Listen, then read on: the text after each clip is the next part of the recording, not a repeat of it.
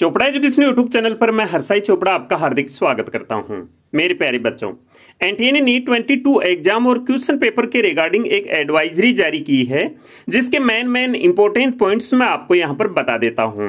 उससे पहले मैं आपको बता दूँ कि हर एक एग्ज़ाम की प्रिपरेशन तकरीबन बच्चों की अच्छी होती है, मगर सफल वही होते हैं जो टेंशन फ्री होकर एग्ज़ाम देते हैं। रिज़ल्ट जो भी रहे, उसकी चिंता मत करो। बस आप तो जितना हो सके उतना बेहतर करने की कोशिश करो। एग्ज़ाम तो वही है जिसको कि आपने पहले प्रैक्टिस की है, वही क्वेश्चन है जिनके आपको आंसर देने हैं और आप कई बार उनके आंसर दे चुके हैं। तो वही तो क्वेश्चन है। तो आपको इसमें प्रॉब्लम कहाँ आ रही है? आपको टेंशन लेने की आवश्यकता ही नहीं है। आप तो बस टेंशन फ्री होकर, चिल होकर एग्ज़ाम दो। आपकी एग्ज़ाम बहुत ही अच्छी जाएगी। तो आइए, अब हम एडवाइजरी के बारे में बात कर लेते हैं। तो सबसे पहले मैं आपको क्वेश्चन पेपर के बारे में जो एडवाइजरी दी गई है, उसके बारे में यहाँ बता देता हूँ।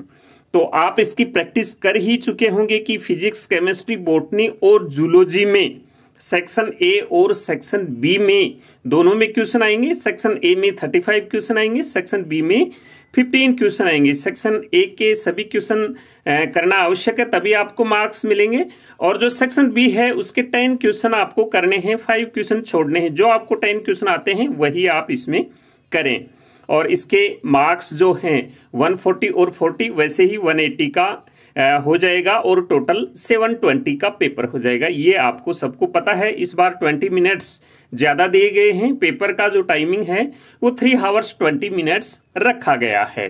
अब इसमें जो इम्पोर्टेंट बात यह है कि आपको जो सेक्शन बी करना है, उसके जो 15 क्वेश्चन है, इनको आप एक बार थ्रोली क्वेश्चनों को पढ़ लो। जिस क्वेश्चन पे आप कॉन्फिडेंट है, उस पर टिक कर दो। इसमें से आपको टेन ही क्वेश्चन करने हैं। अगर आप टेन से ज़्यादा क्वेश्चन करते हैं तो जो आपने पहले टेन क्वेश्चन किए हैं, वही काउंट होंगे। तो आपने पहले इनको अच्छी तरह से पढ़ना है, और उसके बाद में कैलकुलेट करके टेन क्वेश्चन कर देना है कि हमारे टेन पूरे हो गए। इसके बाद में इसमें आगे जो सेक्शन ए के जो एमसीक्यूज हैं, उनमें हर एक क्वेश्चन के, अगर आप करेक्ट करेक्ट आंसर देते हैं हर क्वेश्चन का तो आपको फोर मार्क्स मिलेंगे। अगर कोई आंसर आपका रॉन्ग हो जाता है तो इसमें आपका एक मार्क्स कट जाएगा। यानी कि नेगेटिव मार्किंग में आपका एक मार्क्स चला जाएगा रॉन्ग आंसर के लिए। अगर आप किसी को आंसर ही नहीं देते हैं किसी क्वेश्चन का तो कोई मार्क्स कटेगा नहीं। इसके ज़ीरो मार्क्स, यानी कोई मार्क्स नहीं मिलेगा। अब इसमें कंडीशन ये लिखी है कि अगर किसी क्वेश्चन के जो करेक्ट आंसर है, एक से ज़्यादा ऑप्शन है करेक्ट जैसे ए ऑप्शन भी करेक्ट है सी ऑप्शन भी करेक्ट है तो उन कैंडिडेट्स को फोर मार्क्स मिलेंगे जिन्होंने इन दोनों ऑप्शन में कोई एक आंसर सही किया है। अगर किसी कैंडिडेट ने ए भी किया है तो उसको भी मिलेगा और सी किया है तो भी उसको फोर मार्क्स मिलेंगे। ये कंडीशन है एक से ज़्यादा ऑप्शन करेक्ट होने पर। यानी कि अगर कोई क्वेश्चन एरर हो जाता है एनटीए की तरफ़ से एरर हो जाता है, एक से ज़्यादा ऑप्शन होते हैं उसके तो उसमें चार मार्क्स उन्हीं को मिलेंगे जो इन करेक्ट में से जो आंसर देगा। इसके बाद, इसमें नेक्स्ट पॉइंट ये है कि अगर चार के चार ही, चारों के चारों option he A B B C D चारों ऑप्शन ही अगर करेक्ट होते हैं तो चार मार्क्स उस कैंडिडेट को मिलेंगे जिसने ये क्वेश्चन अटेम्प्ट किया है। जिसने अटेम्प्ट नहीं किया है, उसको कोई मार्क्स नहीं मिलेगा। नेक्स्ट कंडीशन ये है कि अगर क्वेश्चन ही रॉन्ग हो जाता है, अगर क्वेश्चन ही रॉन्ग हो जाता है तो सभी कैंडिडेट्स को फोर मार्क्स मिलेंगे इसमें। चाहे उसने अटेम्प्ट किया हो या नहीं किया हो तो ये तो सेक्शन ए की कंडीशन है। अब सेक्शन बी की कंडीशन की बात कर लेते हैं तो बी में मैं पहले ही बता चुका हूँ कि आपको 15 में से 10 करने हैं और इसमें नेगेटिव मार्किंग है। तो इसमें जो तीन कंडीशन है, चार कंडीशन ये तो पहले वाली है अगर आप करेक्ट आंसर देंगे तो फोर मार्क्स मिलेंगे इनकरेक्ट देंगे तो माइनस वन मार्किंग आपका मार्क्स डिटेक्ट हो जाएगा और कोई आंसर नहीं देंगे तो उसके नए कोई आंसर आपको मार्क्स मिलेंगे इसमें। नेक्स्ट पॉइंट इसमें भी वही है, अगर ऑप्शन एक से ज़्यादा सही है, अगर एक से ज़्यादा सही है ऑप्शन तो चार मार्क्स आपको मिलेंगे।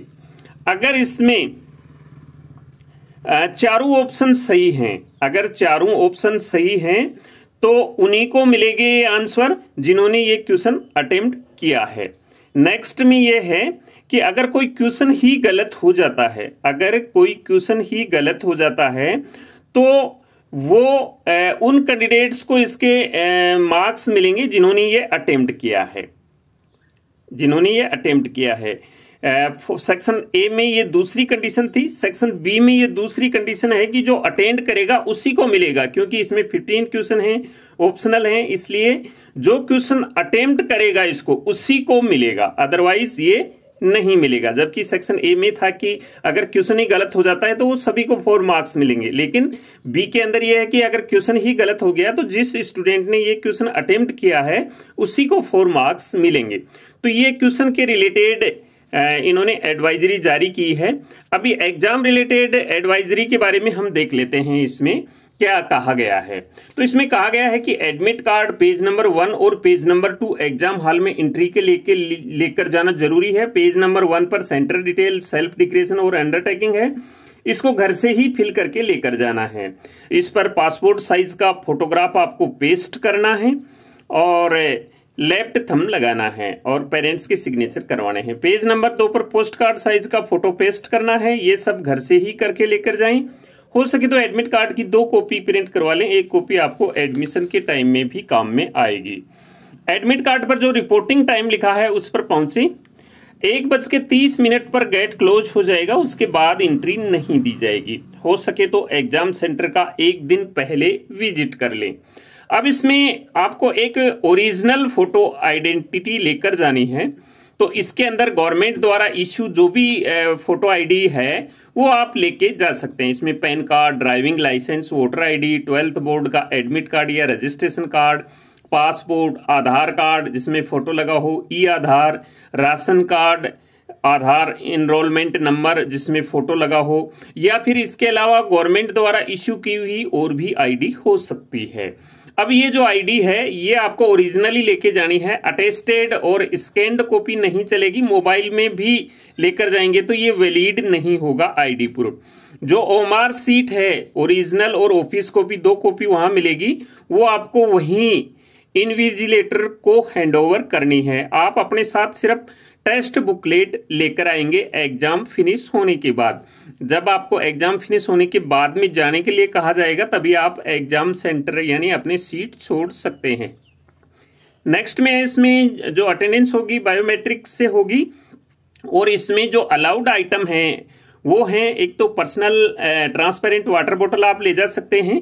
एडिशनल फोटोग्राफ आपको लेकर जाना है, वहाँ अटेंडेंट सीट पर चिपकाना है, ये ज़रूरी है। इसके बाद आप ले जा सकते हैं पर्सनल हैंड सैनिटाइजर 50 एम का। इसके बाद आप ले जा सकते हैं एडमिट कार्ड में जो सेल्फ डिक्लेरेशन है, वो आपको लेकर ही जाना है जिसपे पेज नंबर टू पर post card size passport size का फ़ोटो है, और पेज नंबर वन पर सॉरी पेज नंबर वन पर पासपोर्ट साइज़ का और पेज नंबर टू पर पोस्ट कार्ड साइज़ का फ़ोटो आपको चिपका कर लेकर जाना है इसमें।